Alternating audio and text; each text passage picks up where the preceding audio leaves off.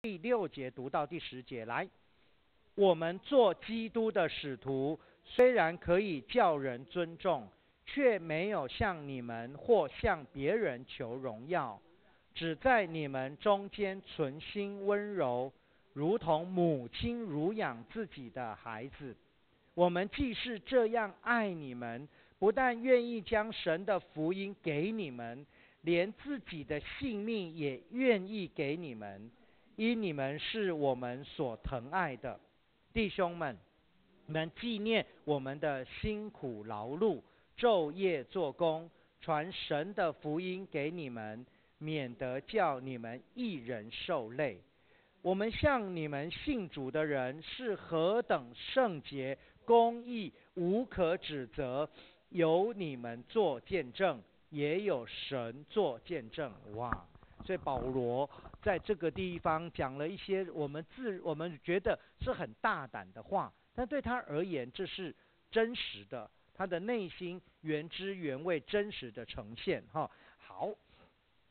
所以呢，来那个第六节哈。他就提到说，我们在我们做基督的使徒，可以叫人尊重，却没有向你们或他人求荣耀。好，所以所以呢，我们可以看到马可福音第三章的十四到十五节，啊，耶稣选十二使徒，要他们常和自己同在，也要差他们去传道，并给他们权柄赶鬼。哎，所以赶鬼是恩赐还是权柄？是权柄哦，所以有些人说他有赶鬼的恩赐，赶鬼不是恩赐的问题哈。那那个这个恩赐哦，是不是这样解释的？那么呃，赶鬼是每一个基督徒的权柄。好，那么他说这是使徒的工作，他们要奉耶稣的名传道并行神迹。犹大卖主以后，这个使徒的职分由马提亚填补。啊，那保罗说他也是使徒，不是由人来的。这加拉太书第一章第一节哈有讲到，他是在有些书信中，保罗特别强调他使徒职分跟权威。所以在此所说的基督的使徒啊，正如以下七到十二节时所说的是爱而不是权威。所以我有我是基督的使徒，我在你们中间啊，爱你们。啊，爱你们。事实上，爱就带着权威。你爱越大，权柄就越大。啊，所以有些人只想要权柄，不愿意付出爱。爱越大，权柄就越大。身为一个军人，你身上的弹孔越多，衣服一掀，所有的人就尊敬你，懂吗？但是你要前前提是，虽然有弹孔，但是没有去见上帝。啊，就是说有弹孔，有身上有，那在黑道里面，谁身上的刀疤越多，他就讲话有声音。啊，所以其实在这里，呃，要有权威吗？他可以使用使徒的权威，但是没有，他在他们中间不断的付出爱，而那个爱是一种舍己的爱，甘愿把我的生命给你们，我甘愿为了爱你们而受苦。这就是保罗的爱哈。那这个地方说，我当然可以叫人尊重。那叫人尊重，就是意思是说，使徒是有权柄的，要求信徒尊重并顺服他们的权柄，这是理所当然的，也是合宜的。那保罗可能是说，使徒有被尊重的权利，虽然他们没有去求取，或者是说他们有权要求经济支持，可是他们却没有提出。好，要没有却没有提出，那所以呢，其实这就是一种什么？一种呃，他可以得，但是他自动放弃，啊，那所以这是这样才反而让人尊重。就好像我跟那些牧师分享的时候，我就说哈，你们千万不要做一种事情，这种事情你做了我就看不起你，就是你去跟跟人家买东西，而那个是信徒，然后你就跟他讲，我是牧师，要不要请你算便宜一点？请问，如果你在卖东西，有一个牧师这样讲，你会不会算他便宜？会，但是你会瞧得起他吗？不会，不是吗？对不对？好，对。然后，然而，如果他不，你不知道他是牧师，然后你就这样子卖给他，你后来知道他是牧师，哇，我相信你会尊重他。他并没有告诉我他是牧师，对不对？啊，所以其实很简单哈。所以我我跟他们讲说，所有的信徒都知道。如果他卖太贵给牧师，他会下地狱。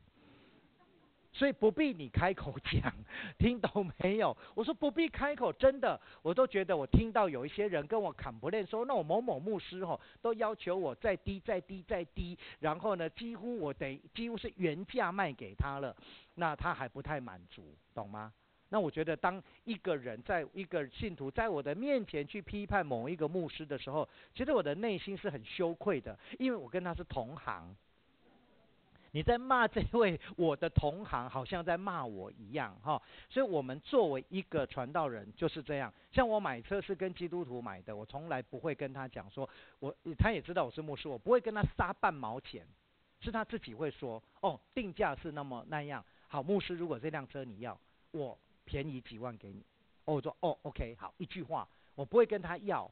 不会跟他怎么样哈，甚至有人哈卖有呃给我什么东西，然后算的很便宜，我说请你要把利润算进去。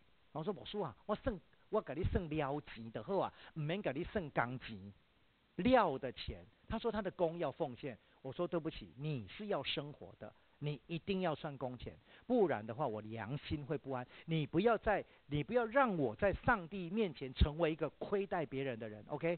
好，所以他就算了工钱。但是我知道那个工钱还是算意思意思而已哈，所以呢，我觉得呃我没有这样子的要求。我说你如果今天不算我工钱，我以后不敢找你做。而你做的工实在非常好，我一定会请你来，但是你一定要给我算工钱。好，但是我这样讲不是为了要得人家的尊敬，这是事实。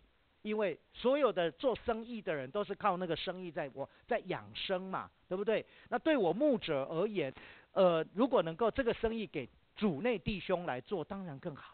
当然更好，没和人谈，和咱家己的人谈，不是够看好吗？啊，但是我们要给人家呃赚，然后又在那边哈，哎呀，这个什么，这个这个，我就觉得是很不好的哈。所以保罗在这边为我们这群做传道人的做出了一个榜样，我可以叫人尊重，但是却从来没有向你们或向别人求荣耀。而这个求荣耀的译法是什么呢？就是说，也没有向人求荣耀，没有向人求，没有向你们。也没有向别人，保罗有资格和同工得到帖撒罗尼迦信徒金钱上的支持，但是他决意不成为信徒的担子，因此他们由早到夜整日工作，为要供应自己的需要。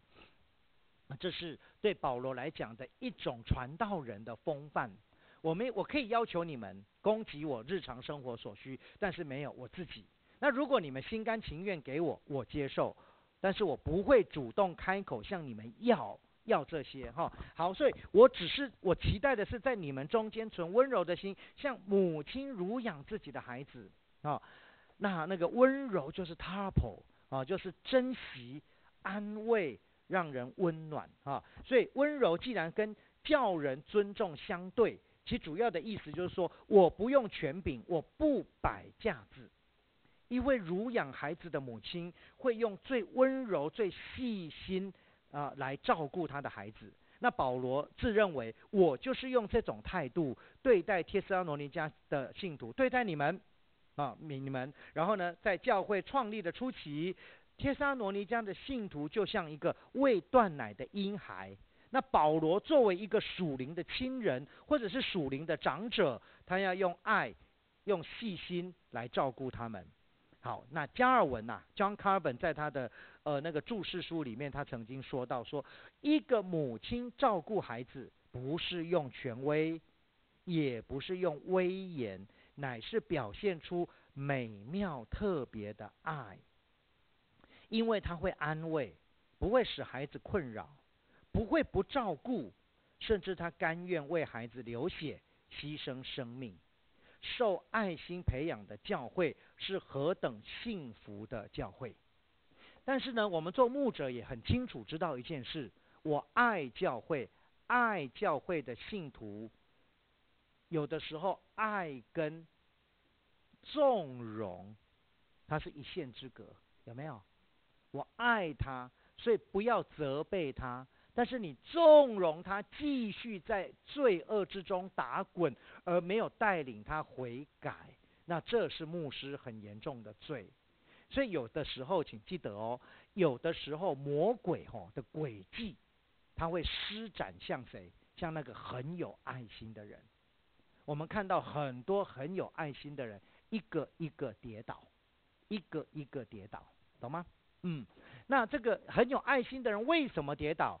因为他太有爱了，所以就包容包容，他特别的关心。有的时候那个爱跟关心反而在渐渐的变成质就质变了，造成质变了。啊，以至于最后就惹祸上身哈。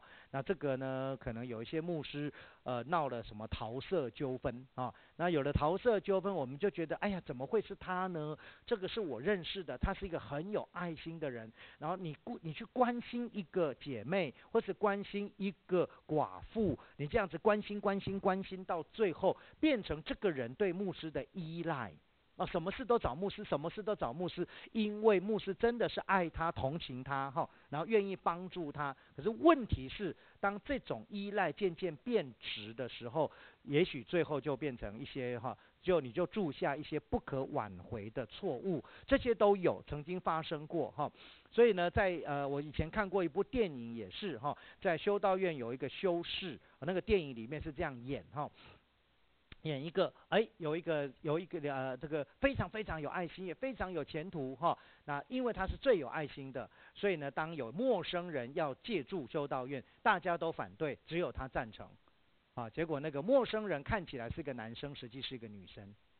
但是后来呢，就是他的百般的百般的那个呃呃呵护哈，然后就关心他，真的是出于单纯的心。可是当后来这个女生展现出女儿身的时候，然后呢就诱惑这一位神父啊，那这位修士，当然这个修士啊，在一个女性。的的那个温柔攻势下，最后也沦陷哈，所以这也就是说，让我们看到说，呃，其实小心那个有爱心的人，必须在爱中仍然没有失去理性，没有失去原则，而且要有智慧，有没有？像我在教会里面关心姐妹，一定是我太太去，绝对不会是我。在学校如果有女生，因为她家里的事情或者她个人一些比较私密的事情要找我谈。啊，找我谈，我也跟他讲说，我不方便哈来跟你谈处理这些事。如果你同意的话，啊，那你就能不能呃请我家的师母来跟你谈？如果他就拒绝，那当然那就刚好，对不对？不然的话，他干嘛找一个老师谈那么亲密的事情？那些属于他个人私密的事，为什么要找一个老师谈？那万一不小心，我一失足成千古恨，再回头一百年生，我代机断掉了。因为我很清楚知道我不是什么好东西哦。对，世人都犯了最亏缺的神的荣耀啊！我是很软弱、很卑微的人，所以我会不会受引诱？会，所以我常常祷告，不叫我遇见，救我脱离。凶恶，其实人家也没有很凶恶啊，可是我慢慢把他当凶恶，所以脱离凶恶哈。但是如果他真心想要得到问题的解决，我就把他带去给我师母，然后他就来帮助他。所以这一些哈，就是我们有爱，可是还要有智慧。那保罗呢，他的那种爱是跟什么所谓的男女之爱无关，是一种父母亲对孩子的爱。那孩子不管聪明或愚昧，能干或者是呃鲁钝。我相信父母亲对孩子的爱是无差别的，甚至于对一对几个喊班的伊娜，他会有更多的包容，啊，包容，甚至他对那些呃比较聪明的孩子会严格要求，对比较愚昧的孩子，他会让让他慢慢来，慢慢来，慢慢来，他不会用相同的标准去对待他们，哈，所以这就是加尔文讲的，哈，他这是什么？他会表现出美妙特别的爱，哈，好，那再来呢？第八节哈，他说：“我们既是这样爱你们，不但愿意将上帝的福音给你们，连自己的性命也愿意给你们，因为你们是我们所疼爱的。所以，我们既是这样的爱你们，哎，这个爱很特别哦，哦，那个是 homeromai。”哈，hore r o m a 这不是 agape，它不是 philia，不是 eros，所以这个字应该不能翻译这翻译作爱。你看英文 NRSV，so deeply do we care for you？care for you 是什么？我们是如此的关心你，我如此的怎么照顾你，我如此的在意你，有没有？care for。好，care for 是就意思说，你就在我的手上，你是在我的手掌中的，还有你在我的心里，你是我的心上人，我最在意的就是你。啊，有这样的意味存在，所以呢，他才把它翻译说，其实我既然这样爱你们，啊，那个爱你们，其实意思是，我既然那么的在乎你们，把你们放在我的心上，把你们放在我的眼中，如同同人一般，把你们放在我的手心里，好，这是这么爱你们，这是一种叫做渴望、期盼。渴望期盼哈，尤其是对爱的渴望，这个词在新约只出现在这这个地方。约伯记三章二十一节啊，其实是译本里面也有用这个字来描写一些受患难、心中愁苦的人，他们切望、渴望死啦，归去，来去死好了啦，归去来死啦哈，那种我在极度的患难，我想以死。以死来终结我所有的苦难，因为这样的苦难实在是非常非常难忍的哈。好，用这个心中愁苦的人切望啊，这个和本说切望，然后呢，在思高天主教的思高一本说是渴望啊来死。好，那呃，在有一本的圣经注释特别提到这这个地方，他说有一块第四世纪的碑文，用这个字来描写哀伤的父母。他极度可想着他们已去世的儿子，因此本节首句的意思就是：我们既然极度可想你们，像母亲可想自己的孩子一般，那接着后面两句就表达了这种可想所产生的后果。啊，好，那为什么会有这种碑文？哈，我告诉各位。呃，我到那个梵蒂冈去的时候，二零一七年我到罗马，我到梵蒂冈美术馆哈，那个博物馆进去的时候，有一个区域，它全部放的都是石棺，啊，石石那个大理石的那个棺木啊，然后那个石棺呢，上面都有都有那些拉丁文，都有那些字刻在上面啊，好，那我们一般来讲刻会刻在哪里？刻在墓碑嘛。但是墓碑也就是某某人显考什么人显匹什么人等等等等，然后那是呃男四大房立呃后世子孙立，只有这样而已。事实上，有些人也像有一些的呃过去在中世纪会出现墓志铭，就是在他他他的那个呃墓碑旁边有一段话，那一段话成为他。的一个人生的写照，他的思想的写照，例如最常被拿出来讲的就是大哲学家康德的墓志铭。他说他他的前面用，其实原文是德文，如果你把它翻译成中文的时候，他说在我这一生中，有两件事，每逢我想到他，我的内心就发出赞叹。有一个是在我头顶上灿烂的星空，另外是我在内心里。道德的法则，头顶上灿烂的星空让我感到赞叹。然后呢，我心里面竟然有道德的法则，好，什么是善，什么是恶，什么是当行，什么不当行？哎，这个这两件事让他赞叹。所以当我在写那个康德的那个呃那个实践呃实践理性批判。啊，还有他的那个道德形而上学原理的这个相关的论文的时候，这段话就特别被我拿出来。啊，那今天请问你看到天上的星宿会不会赞叹？会呀。所以有些人很呃很浮面的，就是哦就拜了这边这颗星那颗星，看到太阳哦拜太阳，看到月亮拜月亮。但是我们要拜的是创造太阳月亮跟安置。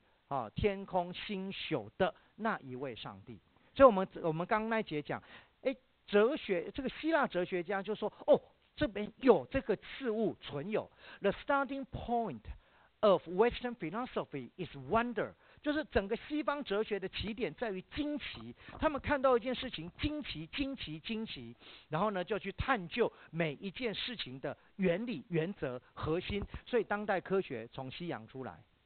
所以现在，当我们在打疫苗，为什么？他要告诉你说，当你得了这种病，哈，呃，这是病毒来的，只要是细菌，我们就用抗生素。可是病毒没有用，病毒是魔盖的，所以你不要相信有什么感冒药，这个世界没有感冒药这种事，因为感冒是滤过性病毒。所以呢，这个什么这个呃，COVID-19 哈，这个呃中国病毒这个东西啊，什么英国变种病毒，什么南非变种病毒，然后中国原生种病毒，告诉你通通没有药医，那怎么样对抗它？只有我们的抗体。所以为什么别人会得你不会得？因为你里面抗体够，他就门关得紧，啊，他即使钥匙打开了，他也是推不进来，那就是足够的抗体哈。好，那怎么办呢？因此。疫苗疫苗的作用就是刺激我们的身体产生抗体。好了，那么是什么样的疫苗？一种病毒，一种疫苗，一种病毒，一种疫苗。科学研究，科学研究需要有那个最最做最基础的药学科学的研究，这就是探讨。万事万物的道理，这种本质性的研究，所以当代科学从什么？从西洋出来，而不是从华人的世界出来。好，那么那个呃希腊呃希伯来哲学他们怎么说？他们说哈，希腊人最多就是研究这些世界有存有，但是呃犹太人会去问这个世界为什么存有？人在这里，人的本质你们可以探讨，但是你们为什么不去问这个世界为什么会有人？当你看到天上的日月星辰，哇，你就去做了研究，所以有了天文学。但是你有没有去问为什么会有日月星辰？如果当你去问这个为什么的时候，就是一个理性的跨越，而这个跨越就进入了信仰的层次。你一定会推出有一位全能者，一位至高者，一个造物主，为了爱，为了爱，然后他造了这个世界。所以很多人就是颂赞自然，可是圣经怎么说？诸天述说他的荣耀，穹苍传扬。他的手段，诗篇在告诉你，连世界万物都在颂赞上帝。当风在吹的时候，在颂赞上帝；当雨在下的时候，在颂赞上帝；当鸟在叫的时候，还是在颂赞上帝。不是只有人，人作为一个受造者要颂赞，但是万物也在颂赞。中世纪那位很有名的修士 Francis of Assisi，圣方济有没有？那或者是圣法兰西斯，我们最熟悉的就是那首歌，使我做你和平之子，哈，好，就是这首诗歌是他写的啦，哈，我就不唱了，因为我说的比唱的好听，哈，所以请你们继续听我说，哈，他写了另外一首歌叫《太阳歌》。我曾经指导那个振兴教会的江明恩牧师，用《太阳歌》的诠释来写他的道学硕士论文。啊，我是他的指导教授。啊，《太阳哥》，太阳兄弟、月亮姐妹、水姐妹、火兄弟，你逃卡派去嘞？这些都你兄弟姐妹哦，懂吗？对他来讲，整个自然就是如此。是哎，那个相传圣方济会走进树林里讲道哎。当他走进树林里讲道的时候，鸟儿停在枝头上，动物来到他的身边，然后在那边聆听。所以有人说圣方济懂得鸟语，他知道鸟在说什么。但是这个是另外一回事，这是野史。不过圣方济出去讲道的时候。他对着那个人家会觉得你掏高派给你笑哎，可是他在对什么？对对着啊那个树林在那边送葬上帝的时候，动物也来，所以你不要以为只有白雪公主知道吗？你去看那个白雪公主的卡通，那个原型是方济 Francis of Assisi，他那白雪公主在那边唱歌，松鼠就来了，然后那个什么那个小鸟就来了，错了，方济开始。然后呢，你知道吗？很有意思的一件事，就是哈那个。呃，这个老先生已经过世了哈，哎，他住在哎拿滨啊，叫做阿炳老师啊，阮昭明老师，他弹琴，他说他每一次在弹琴，他弹管风琴，他每一次弹的时候，他就知道，他说我都我是用我的琴在祷告，我用我的琴在赞美。他跟我说老伯叔，我跟你讲，足奇妙的，我打拜在弹琴的时，外口的鸟啊，都一直叫，一直叫，一直叫。他说他每一次弹琴，外面的鸟就一直叫，然后他不弹琴，那鸟就不叫，懂吗？他就弹琴，哈，哎，后来你知道吗？那个他送了一送了一个琴给我们，那我们家王牧师会弹一点点琴，我就说阿炳老师哈都会，他弹琴鸟都会叫呢，哎，那你弹看看。结果他弹的时候哈，我们的狗在叫，哎，但是我告诉你哦，真的哦，但是哦，你要你会分辨出那个狗是怎么在叫的，它如果是坏人来了，陌生人来的叫法。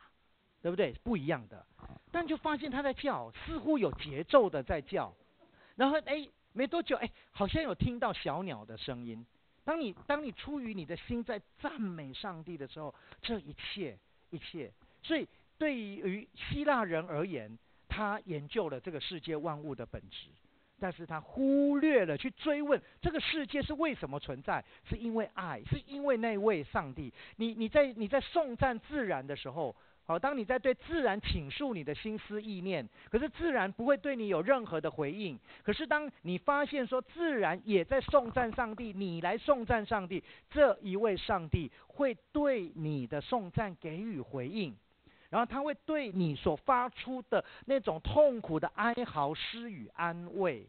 所以犹太哲学的确在相当的部分，我们说，哎。的确超越希腊哲学所能够带给我们的，而这个正是我们在基督信仰里面，我们认识这位上帝，而这一位保罗啊，他饥渴渴慕上帝，然后他也如同父母父母亲一样去可想着什么，可想着这些啊这些的那些呃个呃帖撒罗尼迦的信徒哈，好，所以呢，在才会有那种碑文说他极度的可想他去世的孩子啊，好了。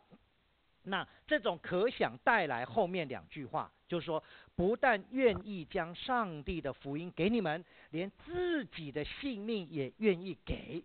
我相信这个只有在座的母亲们做得到。我很诚实的告诉你，如果是我要对我儿子，我真的会考虑一下呢，懂吗？我真的会考虑一下啊。但是呢，呃，但是母亲那对我的太太，我是不会考虑的。如果有今天有他需要我什么器官，在我不会死的前提下给他都没有问题，啊，但是会死的话，那我也要考虑一下，啊，但是这人的软弱嘛，因为没有一个人是完全的嘛，对，但是我有我的软弱咯。可是保罗在这个地方说，我把命给你们，也就是说，我冒着天大的危险，我也要来到你们这里，啊，所以呢，这个分享哈，那个分享就是给。把我的给你哈，使得我们都有我你本来没有，而我给你之后，我们就共有福音。本来在我这里，但是我把福音给你们，给了你们之后，我们就共同拥有上帝的福音。所以这个分享是说，这个给就是让我们共同拥有。那么爱呢，就是给予。所以保罗对帖撒罗尼家人啊，就是给他们上帝的福音，并给他们自己的性命。好，那保罗说给性命是什么意思？就是说，我是冒着生命的危险来到帖撒罗尼迦，所以他如同母亲愿意将最好的给孩子，而对保罗来说，最好的东西就是基督的福音。用白话文讲说，如果要我牺牲自己的生命，你们才肯接受福音，我也愿意牺牲。所以这样的心智跟行动都是因为爱的缘故。我已经不顾外在的危险，把福音传给你们了。好，那我爱你们，如此的在意你们，我视所有的危险患难于无物，因为我的心中只有你。好，那么但是呢，如果你们这样还不肯接受，那要我牺牲生命，我也愿意。这保罗表达了。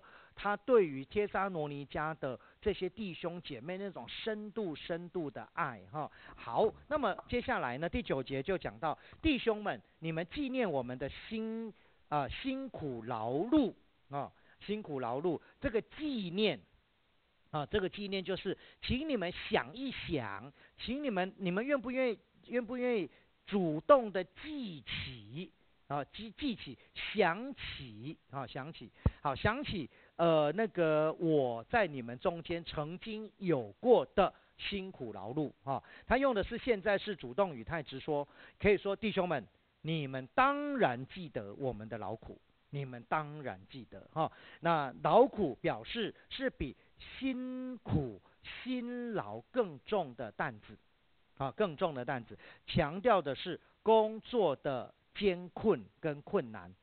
劳苦有的时候哈，呃，如果说是辛苦哦，你好辛苦哦，然后就是你做的工作没有那么简单。啊，你做的哦，你很辛苦的，很勤劳。我们意思说你很勤劳啊，很勤劳。但是这个劳苦呢，是在更艰辛的环境中间，更艰辛的环境啊。啊，最近呢，啊，因为照顾我们家的岳母哈，其实是很辛苦的啊。对，那那个后来终究岳母进到进到安养中心去。不过呢，他进到安养中心去很喜乐，超乎我们所求所想啊。因为他在里面遇到也是基督徒。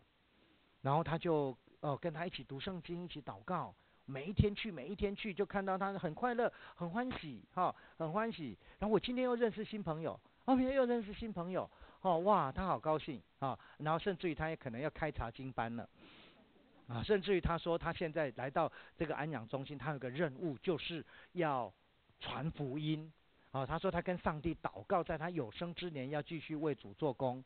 他在我们家的时候是这边痛那边酸那边痛那边酸爬不起来大小便每天我们王牧师一大早起来就是要去处理他的大小便，然后王牧师起来的时候我还在睡，但是后来我还是会醒，因为那个楼下的臭味会传到楼上，那我是被臭醒的，这样子哈。后来我跟他讲说，你要处理的时候，请把妈妈的房间门关起来，也把我楼上的门关起来，不然会把我臭醒。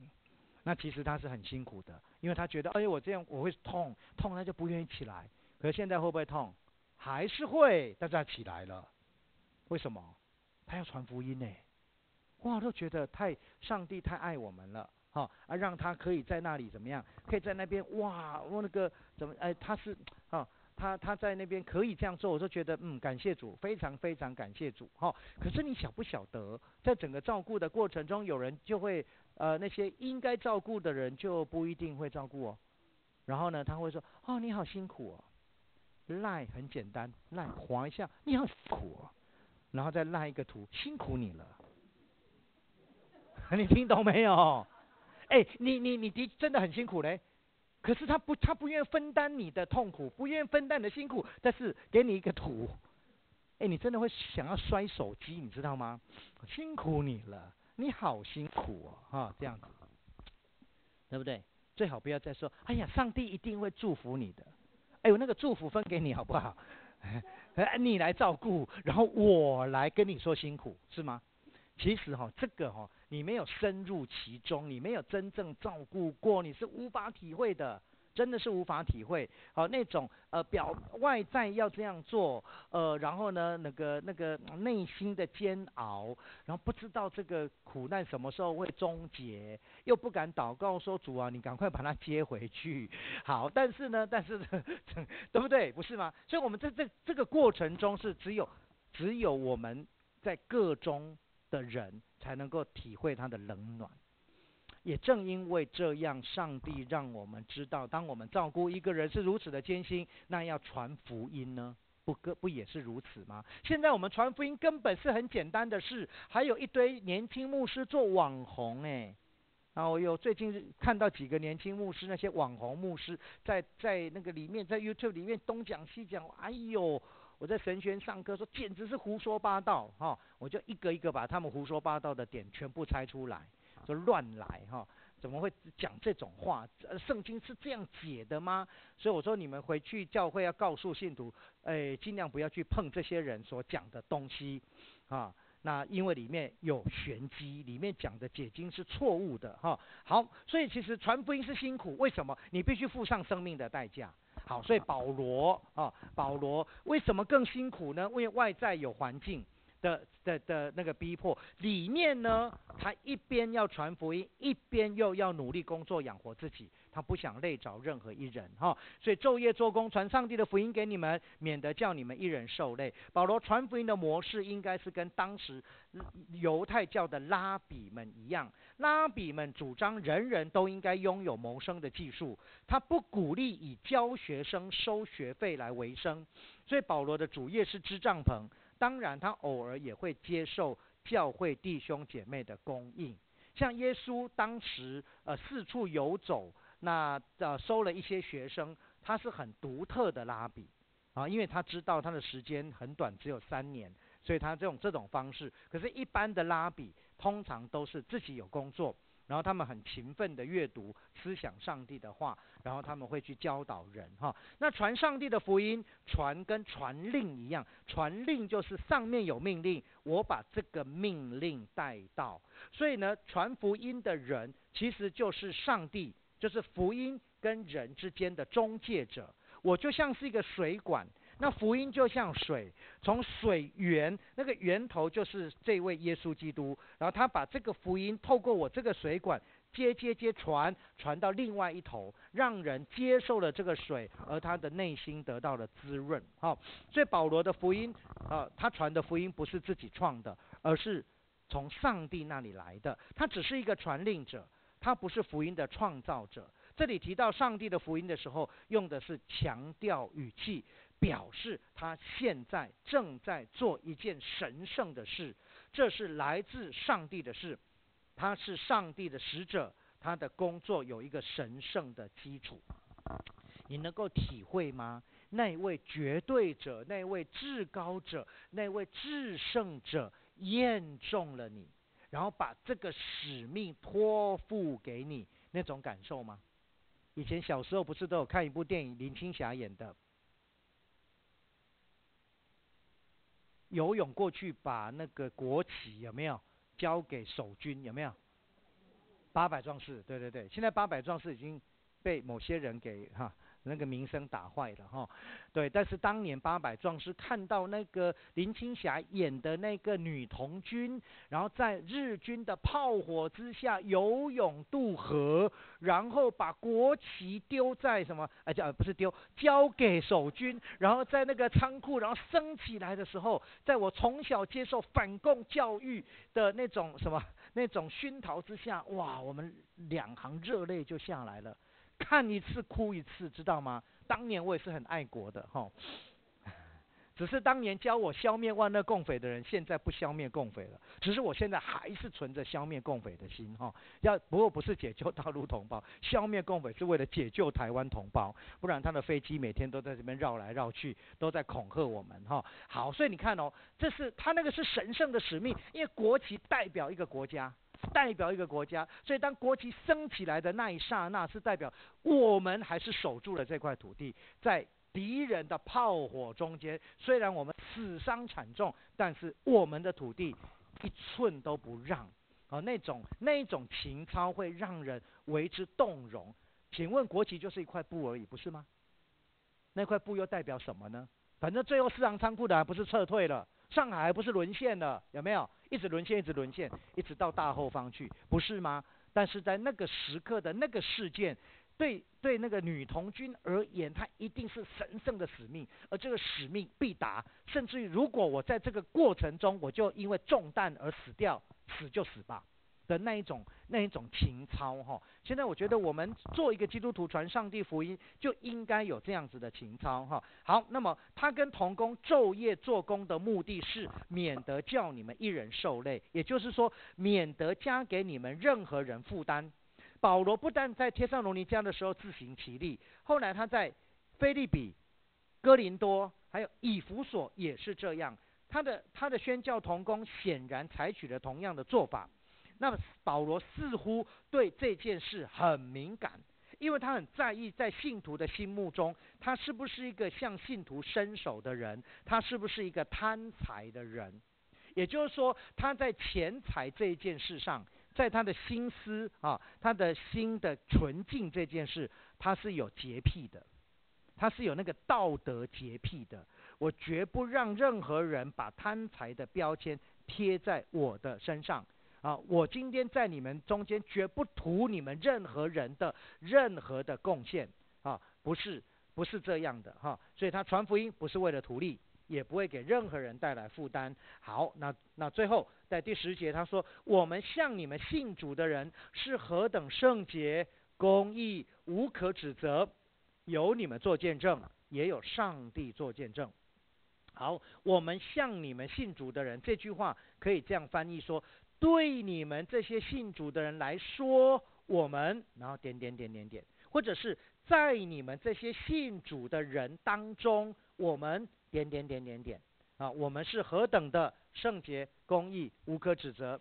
好了，那保罗对自己的行事为人很有信心，他从三方面来讲，首先是圣洁，指出分别为圣的特质；其次，公义，表示顺从一种规范。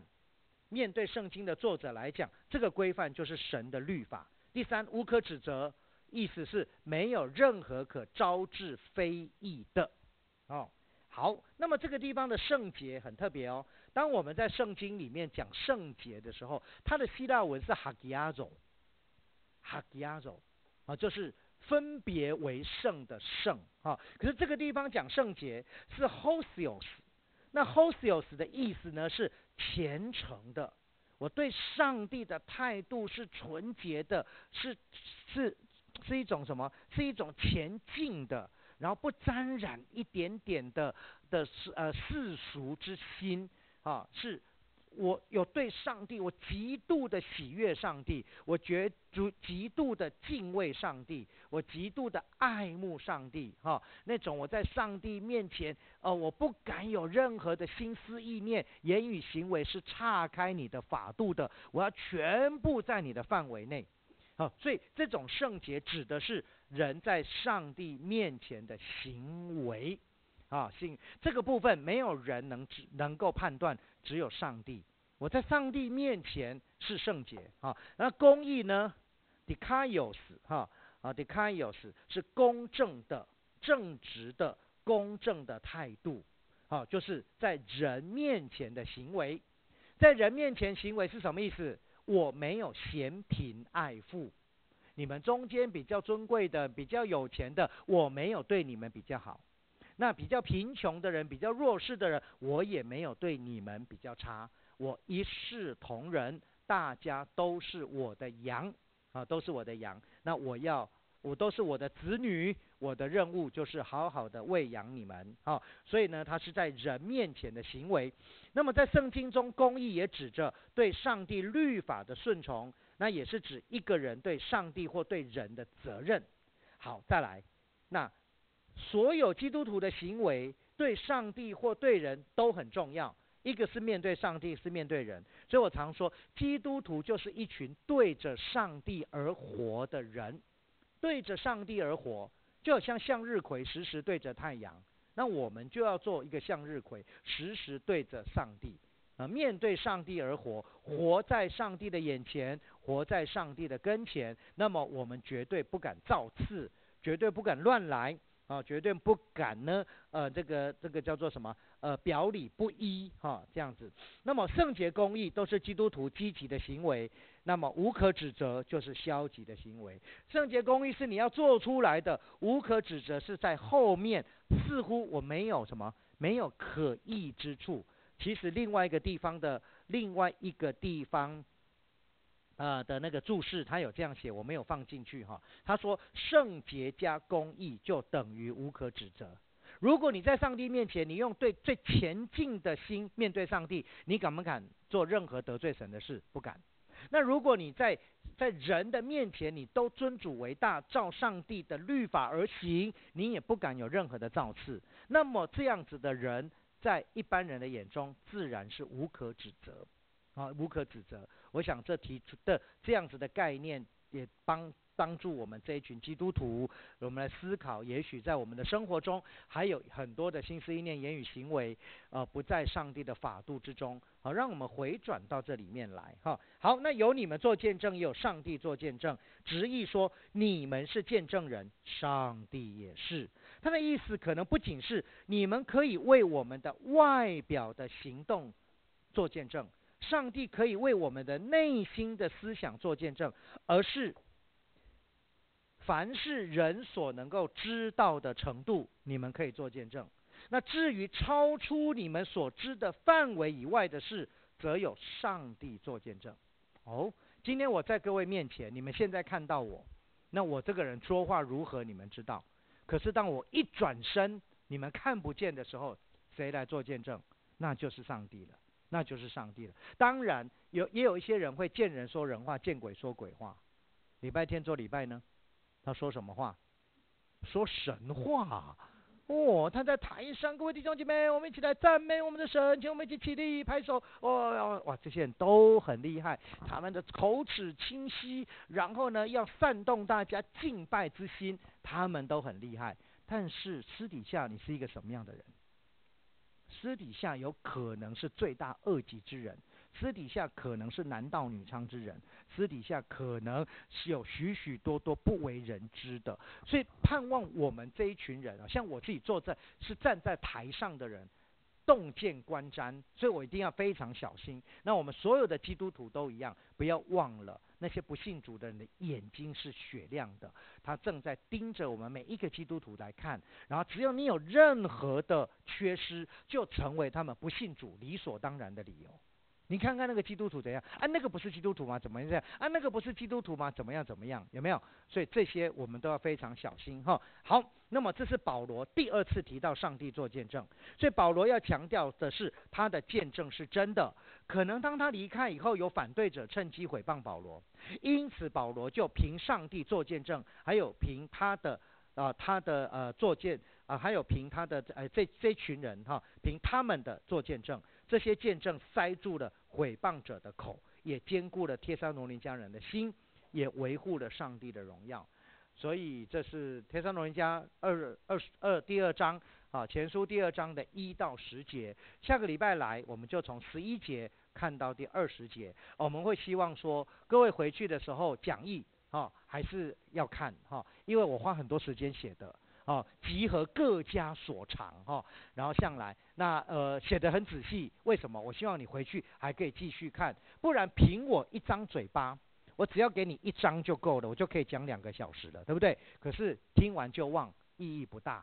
哦啊，如果我给你们那么仔细的，你们回去不看，哦主啊，这罪不在我身上。我们一起祷告，亲爱的天父，我们满心感谢你的恩典。当我们每一个礼拜二晚上饥渴慕义来到你的面前，寻求你的真理，谢谢你，你的话应许我们，我们必得饱足。在你的话语里面有真理，在你的话语里面有亮光，你的话就是我们生命的粮食。你的话也使我们这一群愚昧的人通达，能够拥有属天的智慧。在帖撒罗尼迦前书，让我们看见保罗是一个何等。被上帝你所拣选的使徒，然后他带着为父为母的心进入这个教会，进入这个地区传扬你的福音。外在有逼迫，然后他内在也有困难，然后他仍然殷勤的自己做工，啊，然后在这一群人的面前做美好的见证。主啊，让保罗的见证不是只留在圣经里。让保罗的见证仍然流传在我们的中间，特别也成为我们每一个人的典范，因为我们也是你的仆人，你也验中了我们，使得我们在追随基督的道路上，我们在教会这个神圣团体里面，我们在教会都有我们自己的一席之地。你也为我们预备了服侍的祭坛。既然我们服侍你，我们就跟保罗一样，是你的仆人。作为一个仆人，唯独追求你的荣耀，让我们愿意为着侍奉你而多受劳苦，没有发怨言，如同保罗一般走一条忠心事主的道路，到有一天我们可以跟他一起说：那美好的仗我们都已经打了。愿主你的话深刻在我们的心，在我们的生命中，成为我们脚前的灯，也成为我们路上的光。祷告奉耶稣基督的名，阿门。